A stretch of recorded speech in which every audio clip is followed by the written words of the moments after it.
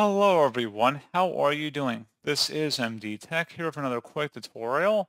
In today's tutorial, I'm going to show you guys how to hopefully resolve if you're having an issue with folders or files keep reappearing after you've already deleted them.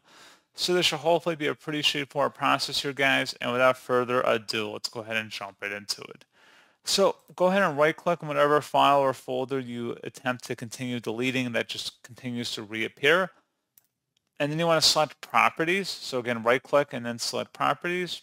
Select the security tab at the top and then underneath where it says for special permissions or advanced settings, click advanced, select that option.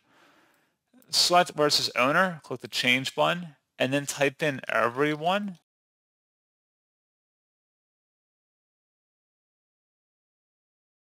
And then select check names, select OK Checkmark where it says replace owner on subcontainers and objects, and then select apply, select yes, then okay, okay again, and then you should be able to delete this file or folder without incident.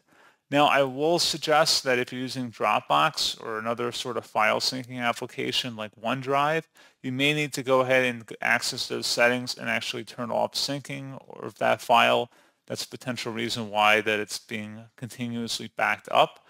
So again, pretty straightforward process on that, guys. And as always, thank you for watching. I do hope I was able to help you out, and I do look forward to catching you all in the next tutorial. Goodbye.